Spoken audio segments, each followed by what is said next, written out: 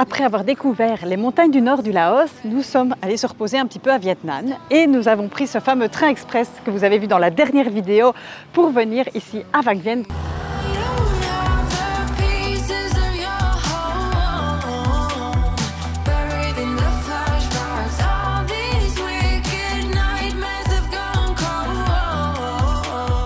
Vang Vieng, ville très connue il y a à peu près 10 ans pour les backpackers. À quoi ressemble finalement Vang Vieng Est-ce vraiment une destination pour les familles? C'est ce qu'on va voir.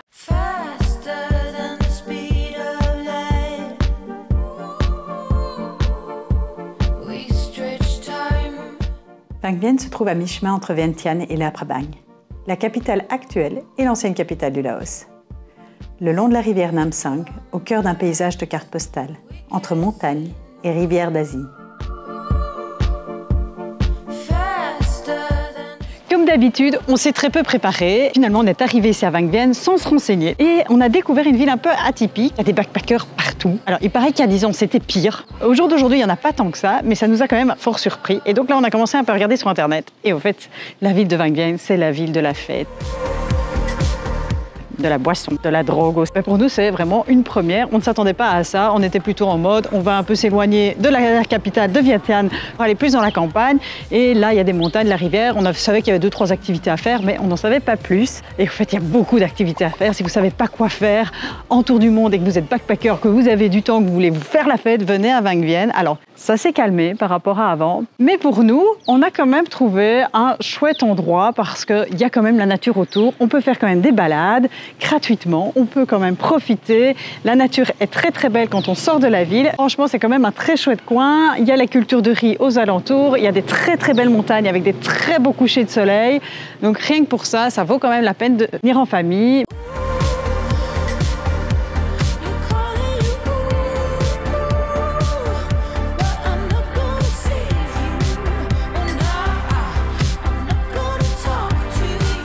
Est 9h18 et il fait déjà très chaud ici au Laos et à Van Vieng. Donc si vous avez envie de faire une activité pédestre comme la randonnée que nous on apprécie tant, il faut démarrer très tôt le matin. Et donc 6h30, euh, 7h. Parce que vers 10h30, 11h, il fait déjà beaucoup trop chaud pour marcher. C'est bien simple, tout le monde est calfeutré.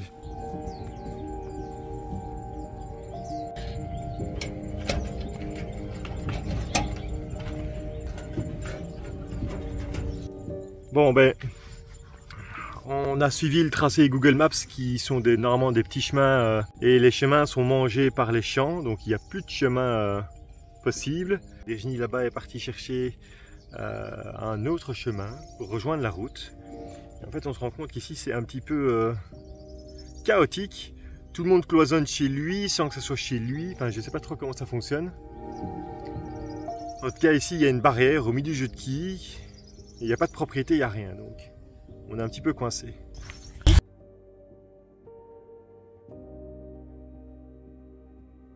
Et alors, on en a parlé de la chaleur. Il est 9h30 et on boit beaucoup d'eau. Donc, euh, normalement, il a un petit chapeau aussi. Hein. Euh, il est où ton chapeau, Siou Tu sais pas Il fait ultra chaud. Et donc, on préserve les forces des enfants en les mettant à l'ombre. Salut les filles Salut Alors, c'est chouette la randonnée? Oui C'est très très beau. Donc, si vous venez à Van Vieng, sortez de Van Vieng. Il y a la rue principale avec les, marchés, les petits magasins, les restaurants, les hôtels. Prenez la peine de prendre un des deux ponts aux extrémités de la ville et allez vous perdre dans la campagne. Et nous, qu'est-ce qu'on va faire maintenant, les filles? On va aller chercher notre chemin. On va trouver le bon chemin. Allez, on va rentrer.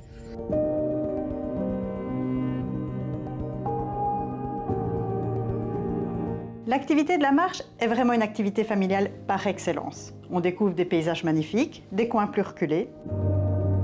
Ces randonnées avec Vienne sont les prémices pour Sioux. Elle commence de plus en plus à faire des pas toutes seules. C'est génial de pouvoir voir ses enfants évoluer, grandir avec nous. Nous avons la chance de ne pas être loin quand elle a besoin de soutien ou simplement de se reposer.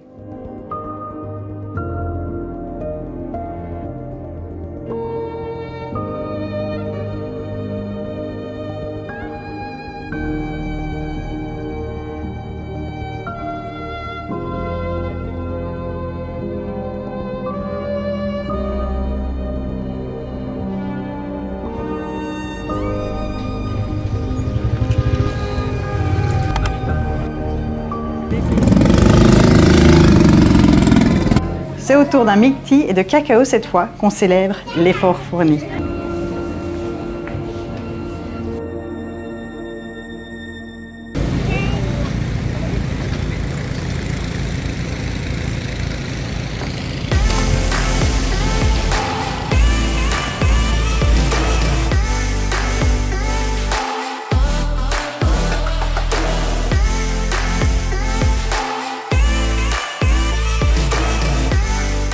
Temps rester euh, à Vienne Alors, je pense que si vous venez pour faire la fête, 2-3 jours suffisent. Si vous venez comme nous pour vous reposer un petit peu après une maladie et vous remettre au calme, ben voilà, nous on est resté finalement plus de 10 jours ici à Vienne. Alors, on y a trouvé notre bonheur en famille, même si finalement ce n'était pas vraiment ce à quoi on s'attendait. Alors, on s'attendait à la campagne au calme et au fait, c'est beaucoup, beaucoup de backpackers, c'est beaucoup de, fêtes. Euh, mais bon, il y a moyen de vivre tout à fait comme une famille en voyage de manière différente, profitant des bienfaits de la piscine et surtout de la nature environnante qui est très très belle malgré tout.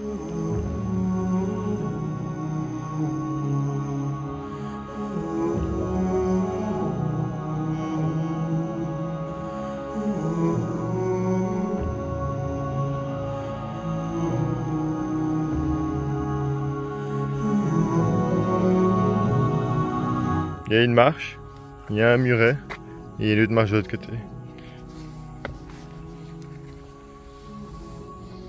Oh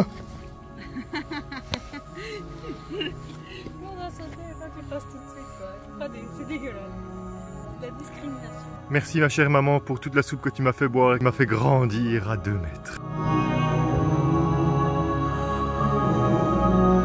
On s'éloigne des pôles touristiques, on découvre la vie locale et le travail parfois difficile dans l'agriculture laotienne. On est loin de notre industrialisation européenne et du confort où nous avons grandi.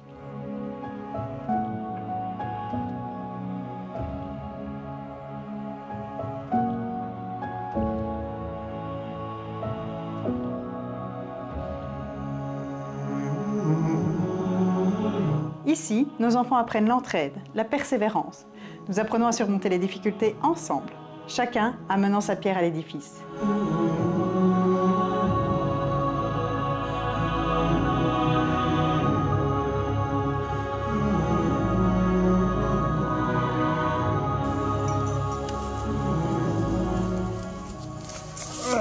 Ou plutôt son bâton pont. Et quand on échoue, les enfants nous rappellent qu'il faut juste se relever. En grandissant, on perd un peu cette innocence. Heureusement, elles sont là pour nous remettre sur le droit chemin.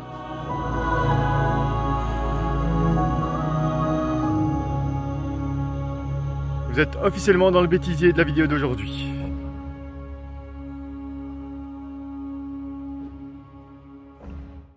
Que faire à Wangen? Il y a l'embarras du choix. Vous pouvez faire du kayak sur la rivière, voir les beaux paysages. Vous en trouverez partout des sociétés de kayak qui louent les kayaks.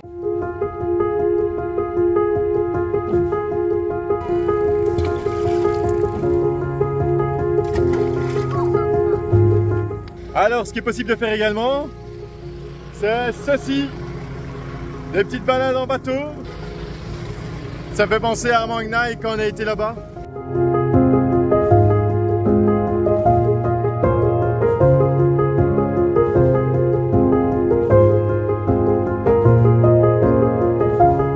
Si on s'arrêtait juste pour profiter des joies de la rivière, jouer au ricochet, bon on n'est pas très doué de la famille on a encore besoin d'entraînement. on a commencé à faire ça quand on était euh, tout au nord, euh, près du Cap Nord, dans les fjords. Maintenant, on est euh, en plein milieu du Laos, le long de la rivière à Vangvienne. Comme quoi, on a quand même une vie qui est très riche de plein de choses différentes, de plein d'endroits différents. Alors là, on fait la même chose, mais dans les quatre coins du monde. Vous pouvez faire l'attraction phare qui est le tubing. Le tubing c'est quoi? C'est des grosses bouées qui passent sur la rivière. On vous tire finalement et vous passez votre temps sur la rivière. Quand vous faites le tubing, il faut savoir que vous vous arrêtez à tous les cafés, tous les pubs euh, le long de la rivière. On picole régulièrement et puis ben, fin de journée, au bout de je pense à peu près 4 heures, on arrive à la fin. Il faut le dire, ils sont cramés.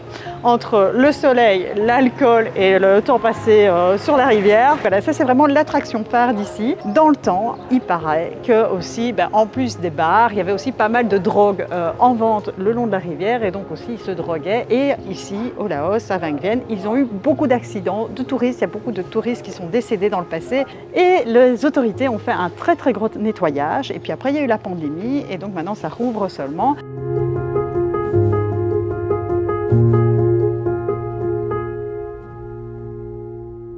Les classiques crêpes à la banane, au chocolat également.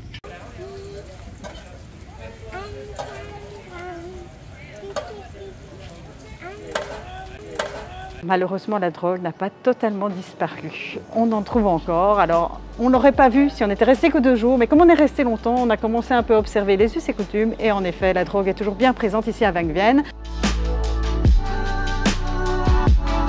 Alors, c'est horrible parce que ça me met hyper mal à l'aise. Et on voit euh, ces affiches avec les prix à la vue de tout le monde. Euh, nous, on attend notre nourriture là et euh, tu te dis, mais tu sais que c'est interdit. Tu, vois les gens qui sortent avec des gros paquets, ils, ont, ils, prennent leur drogue avec comme si c'était tout à fait normal. c'est vraiment bizarre. on se dit en plus, je pense que la police ici est très très stricte si elle vous chope avec de la drogue. C'est vraiment étonnant comme les gens font ça de manière tout à fait ouverte. Moi, ça me met très très mal à l'aise, vraiment déroutant. Là, c'est pas des endroits que j'aime être euh, avec euh, mes enfants. Il y a des petits signes précurseurs comme euh, des affichettes avec Happy Hours ou Happy Cake ou autre. Et alors, ben, ici, il y a une carte. Voilà. Il y a une carte, c'est assez clair, net et précis. Il n'y a qu'à regarder ce qu'il y a et il n'y a qu'à commander. Après, vous installez sur un fauteuil. Alors, les deux seuls cafés qu'on a rencontrés qui étaient comme ça ici à Van Dieng, euh, ils avaient des sortes de petites tables surélevées avec des petits coussins pour se reposer. Et donc, chaque fois qu'on est rentré dans un café comme ça, à chaque fois c'était la même chose. Il n'y a rien de l'extérieur à part cette petite affichette Happy Cake Hours qui, euh, qui montre ce que ça pourrait être d'autres qu'un refuge pour se droguer ici au Laos. Alors ici, c'est aussi le paradis des piscines naturelles. Il y a des lagunes, il y en a plusieurs. Le lagune 1, 2, 3, 4, je pense que ça va jusque 6. Vous pouvez aller les faire. Ce sont des étangs bleus, magnifiques à faire. Alors, pour ceux qui aiment les sensations fortes, il y a le zipling. Il y en a partout, il y a des lignes de zipling qui permettent aussi de relier tous les lagunes, si j'ai bien compris. Donc vous pouvez faire ça aussi. Lancez-vous si vous aimez ça. L'apothéose, il y a deux activités qui se font dans les airs. Il y a le paramoteur et les montgolfières. Donc ici, c'est vraiment pas cher si vous voulez faire un baptême de l'air en montgolfière à Vienne. Les prix sont vraiment bas. Tous les soirs, les montgolfières euh, décollent et permettent d'avoir une très belle vue sur Vienne. Alors, nous, ce qu'on a préféré faire pendant nos 10 jours ici à Vienne, finalement, c'est de marcher. C'est ce qu'on aime faire le plus. Et donc, on a randonné dans la nature, entre les chandries, les montagnes. C'est très joli à faire. Et il y a quand même pas mal de belles randos à faire dans les environs. Il y a aussi, j'ai oublié de le dire, beaucoup de points de vue euh, à faire dans les montagnes. Euh, souvent, il y a un petit droit d'entrée, mais pas très cher. Et vous pouvez grimper et avoir des points de vue sur la campagne environnante. On vient de passer la zone de travaux qui est juste là. Et en fait, dans le Laos et même en Asie Sud-Est, tout le monde est surpris par euh, nos quatre enfants. Tout le monde me sourit en me disant c'est bien, c'est bien, bien joué, bien joué. Et là, je reconnais en moi l'étalon qui a fait quatre jolies jeunes filles. Quand il me voit, il voit la déesse qui a de la fécondité. Mais c'est normal, ici au Laos, les filles rapportent de l'argent à la famille. C'est la, la, dot. Et donc là, on va être riche avec quatre filles, non? En tant que parent, je ne peux m'empêcher de transférer mes passions aux filles, comme la randonnée. Il arrive souvent maintenant que ce soit elle qui réclame de marcher. À l'instar de mes passions, je transfère aussi, sans le vouloir, mes propres craintes aux filles. Il y a maman qui panique parce qu'il y a un précipice à, ma droite. Donc, je veux pas que je me mette là. Heureusement, leur caractère bien affirmé arrive à contrecarrer de temps en temps mes peurs déraisonnées. Elle a raison.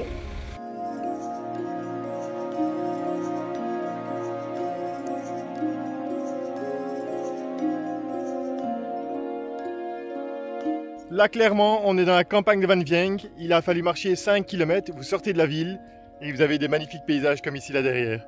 Vraiment, ça donne envie de se balader. On pourrait vous faire une vidéo sur toutes les activités qu'on peut faire à Van Vieng payantes. Notre budget ne nous permet pas toujours faire tout ce qui est payant, donc tout ce qui est euh, kayaking, zeppelin et autres.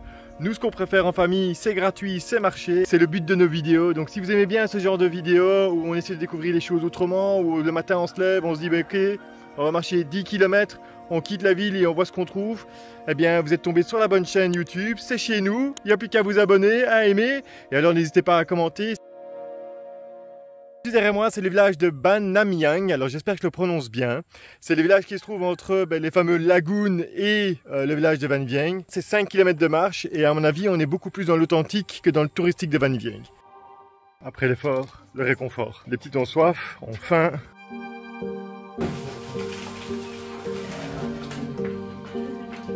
Ok, on a souvent parlé de l'accueil des Thaïlandais, on va parler de l'accueil des Laotiens maintenant.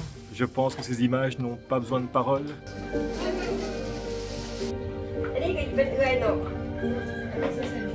Alors on s'était mis en tête qu'on allait refaire un peu de stop pour rentrer jusque Van Vieng parce que les filles elles sont cuites.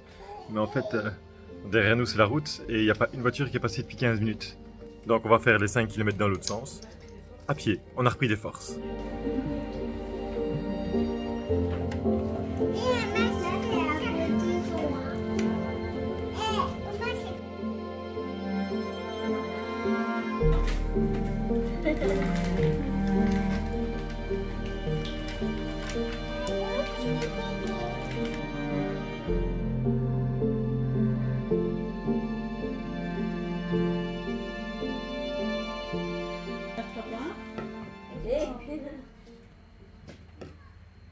Vas-y, vas-y, vas-y. Non, non. Il doit enlever, non, je crois qu'elle mange tout. Ah, tu, tu coupes, ouais. Tu peux manger. C'est bon? Ouais. C'est un peu mon colanta quoi. Ouais, vas-y. Vas-y, prends-en. Et tout, on mange tout? Ouais. Tu le prends et tu le manges en bouche. Alors je prends celui-ci parce qu'il est complet. Comme ça on ne dira pas que j'ai mangé un demi. Et la tête aussi? Tu tout manger juste Tout? Et rien, tout avalé. Mange tout. Vas-y, mange tout. Tu manges Mange tout, papa. Non, papa. Yoko a mangé tout. La dame a dit que c'était bon. Tu manges tout. Tout.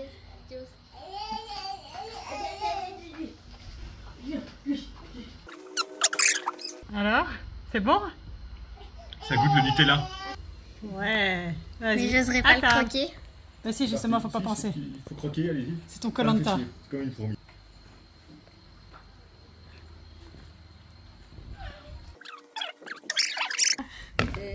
Prends-en. Ah non, je saurais pas. hein. Déjà, déjà rien qui est touché, j'ai déjà du mal alors. Allez, c'est bon. Vas-y, mange-le. Ah, j'ose pas.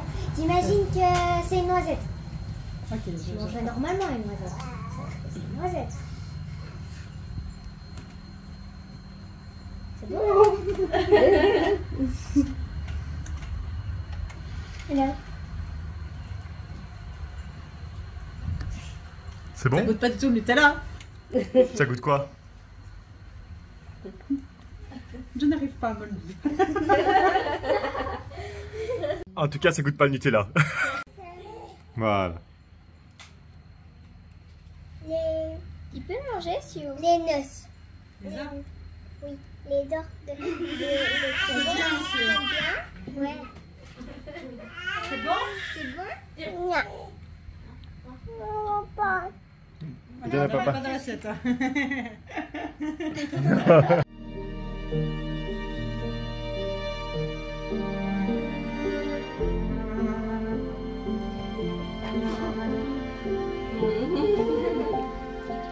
C'est avec des sourires plein la tête que nous repartons. Ces moments de partage valent tout l'or du monde. Thank you, bye bye on n'a pas croisé de voiture, ni de 4x4, ni de mobilette, ni de tuk-tuk. On n'a rien croisé du tout. Et donc, on doit refaire le chemin inverse à pied. Et au plus tôt on va le démarrer ce chemin inverse, au mieux ce sera parce que les chaleurs arrivent. Il est quasiment déjà 10h30. Et dans une bonne heure, ça va faire très très chaud ici. Ce sera un grand four. Pour ceux qui n'auraient pas bien remarqué, vous venez de découvrir également l'architecture laotienne de base un carré avec une ouverture vers la rue et dans cette pièce se trouve La cuisine, la salle de bain, le magasin, la chambre, le salon. Et donc c'est, euh, oh, je pense, c'est 15 mètres carrés. Et ils sont plusieurs dans la famille à vivre là. Et même avec 15 mètres carrés et une famille complète qui y vit, on a quand même droit à un accueil. On a des personnes qui vous laissent leur chaise pour s'asseoir. C'est c'est du vrai Laos, c'est pas du Laos touristique et c'est ça que je voulais montrer à mes enfants. Et je pense que c'était une mission à nouveau réussie. Leur faire comprendre que la richesse n'est pas forcément matérielle, mais c'est une richesse humaine. Mais en tout cas, par rapport à ce que je vois en Europe ou ce que je vois en Belgique, des gens qui sont stressés, qui partent boulot avec du surménage, que c'est l'enfer pour eux tous les jours, embouteillage, les factures et tout ça, j'ai pas forcément l'impression qu'eux sont pires que nous. Euh, on va les aider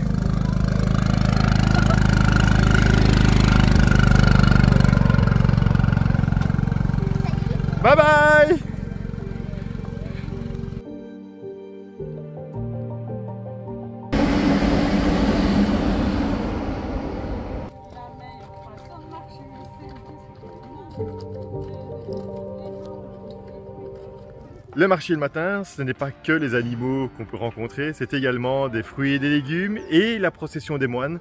Donc si vous n'avez pas l'occasion d'aller à l'Opabang, vous pouvez voir une petite procession des moines ici à Van Vieng également.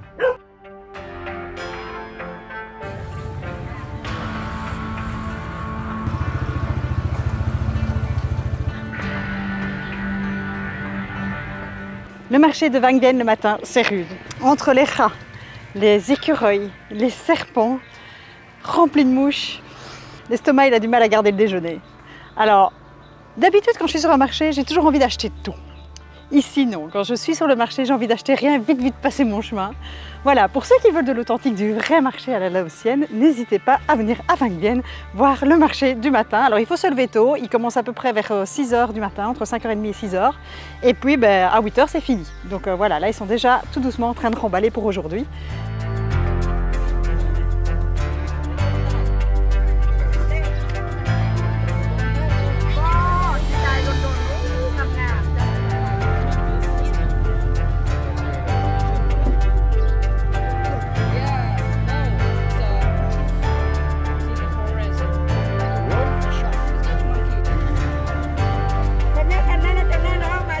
Mais c'est une attraction à ne pas manquer. Donc oui, les backpackers, les fêtards euh, qui font la grasse matinée, ben, ils ne le verront jamais le marché du matin. Mais si par contre vous êtes comme nous, une famille en voyage à Vangvienne, vous aurez l'occasion de le voir.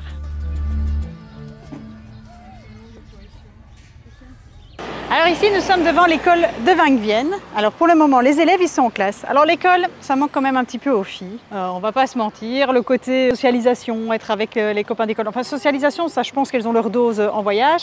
Mais plutôt le côté horaire. elles aimeraient bien, elles rêvent d'avoir un uniforme. À force de voir des écoles avec uniforme, elles rêvent d'en porter un jour. Voilà, ça leur manque.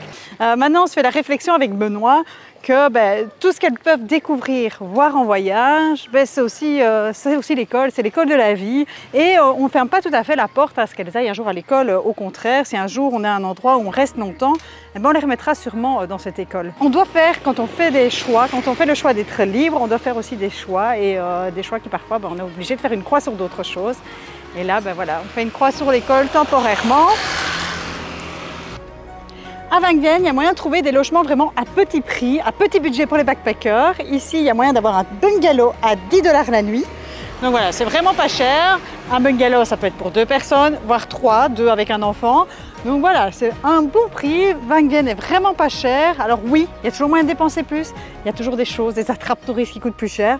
Mais il y a vraiment moyen de vivre pour pas cher du tout. Par contre, ne pas penser que vous allez avoir la plus belle des vues. Hein. Mais au final, si vous n'avez pas besoin d'avoir une jolie vue en sortant de chez vous, 10 dollars par nuit, ça reste correct.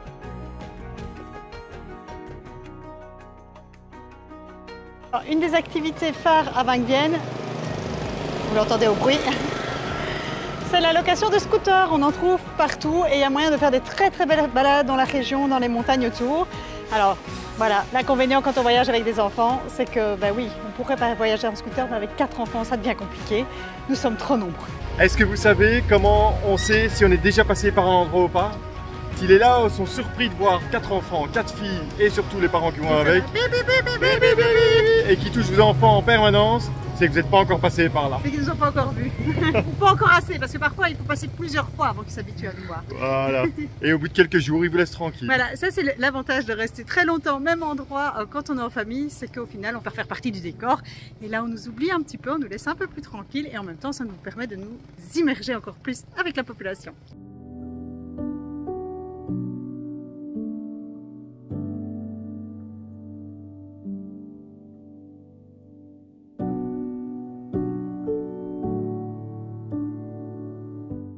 Van Vien est connu pour les backpackers, pour le voyage à petit budget. Mais pas que. Van Vien, ça peut être aussi les gros resorts de luxe. Et oui, le tourisme de luxe a aussi sa place à Van Vien. Il y a des très très gros hôtels très très beaux avec des très belles vues sur les montagnes, très bien entretenus avec les mauvaises herbes arrachées à la main. Donc oui, le Van Vien de luxe, ça existe aussi.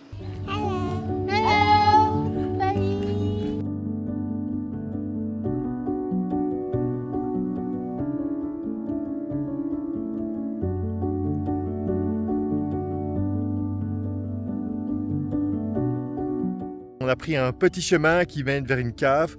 C'est plus ou moins une balade de 2 km et demi en sortant de Van Vieng. Et ça permet de voir la campagne, surtout de ne pas avoir trop de bruit. Et donc on espère découvrir cette cave et voir ben, qu'est-ce qu'il y a dedans. Alors c'est une cave euh, qui est notifiée sur Maps.me, donc c'est une cave qui est connue. On n'est pas dans la découverte archéologique, mais le but c'est de se dégourdir les jambes et de montrer quelque chose de différent aux enfants.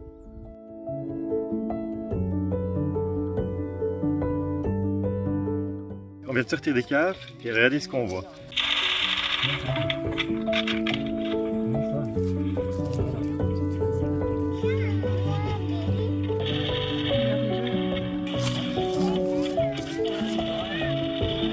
Je me demande ce qui est le plus surprenant. C'est de voir euh, les trois gardiens des vaches à l'ombre, de voir les trois gardiens des vaches avec un téléphone, les trois gardiens des vaches avec un téléphone, la 4G et jouer un jeu style Fortnite ou l'hibou mort à côté du couteau sur le sac à dos. Moi aussi j'ai envie de jouer aux jeux vidéo. C'est jalouse. Je disais justement à Virginie, ce que je comprends pas, en fait si je comprends. Mais là on a une vision de l'ancien temps à la fronde et du nouveau temps avec euh, le téléphone et les jeux en ligne, euh, internet et tout ça. Mais surtout, comment est-ce qu'il a fait pour chasser un hibou?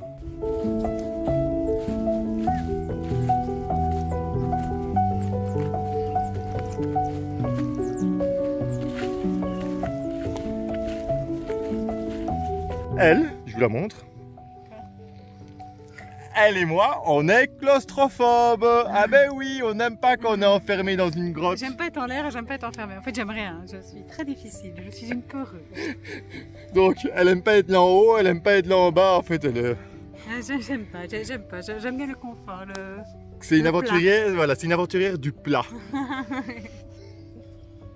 Euh, moi non plus, euh, j'aime pas euh, quand on est dans les trous et tout ça. Je fais 2 mètres, et j'arrive pas à me déplacer là-dedans. Je gère pas ça, quoi. Enfin, si vous aimez bien ça, Van Vieng, euh, il y a plein de caves autour de Van Vieng, donc il y a plein de trucs à faire. Alors Ah, il a déjà creusé deux, il reste encore un à creuser pour trouver de l'eau.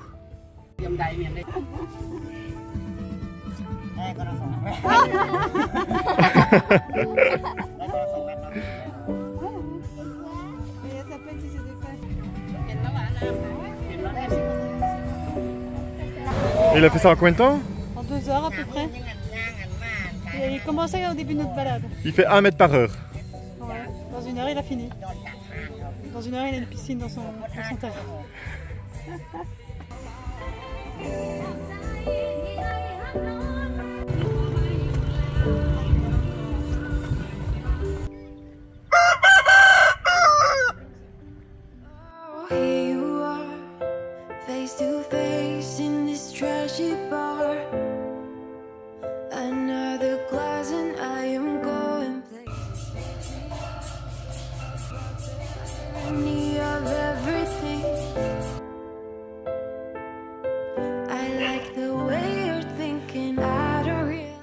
Chaque ville et village a son temple au Laos.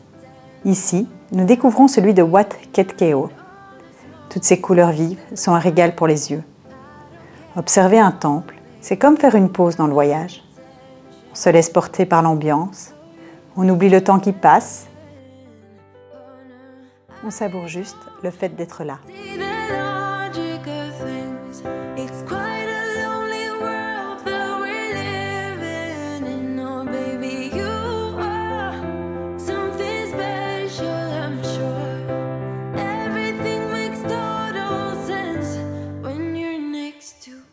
Tous les temples de Vang Vienne ont cet effet sur nous. N'hésitez pas à prévoir du temps pour ces visites moins touristiques. Les filles profitent de ce temps suspendu pour jouer avec la caméra. C'est aussi une autre forme d'apprentissage.